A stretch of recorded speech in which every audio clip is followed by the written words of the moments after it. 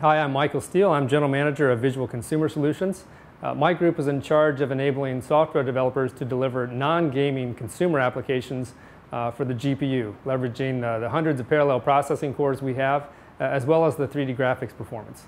It's no secret among any of us that uh, the way we interact and use our technology has changed tremendously just in the last three or four years. Uh, Facebook, for example, has 400 million users. there are over 15 billion photos that have been uploaded to Facebook uh, with as many as 200 million a week.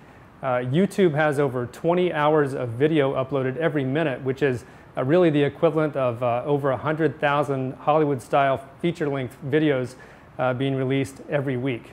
So we all need better ways of, of creating, uh, editing, and, and, sharing all this content, and that's where the GPU really comes into play. and it really all started with video transcoding, but it certainly doesn't end there. Uh, today, many of the most popular video editing applications are GPU accelerated using CUDA, uh, offering as much as 500% faster performance. Uh, we're also seeing new and simpler ways to uh, enhance video.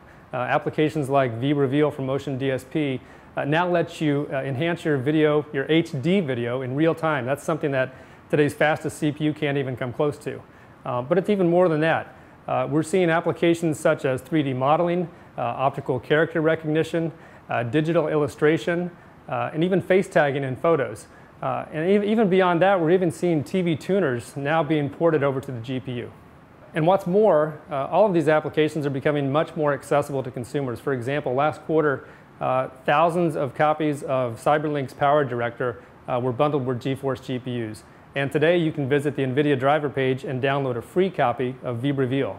So we're really just uh, seeing developers just now starting to scratch the surface of what they can do with GPUs. Uh, the way we look at it is uh, software developers with CUDA and GPU are just at Rev 0.1.